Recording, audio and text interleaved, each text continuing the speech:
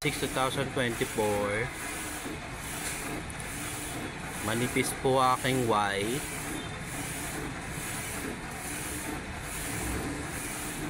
At yung sa hose barado na naman po di siya makalabas.